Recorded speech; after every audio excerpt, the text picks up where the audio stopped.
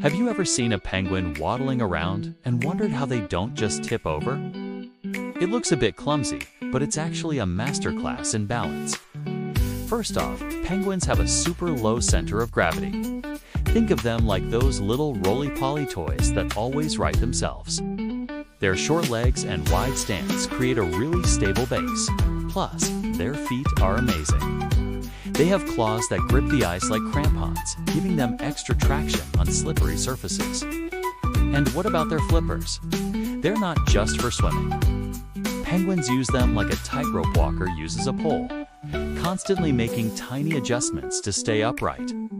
When the ice gets extra tricky, they've got a secret weapon, the belly slide. By lying down, they lower their center of gravity even more and glide across the ice, which is way safer than walking. So next time you see a penguin, remember you're watching a true balance expert at work. Thanks for watching.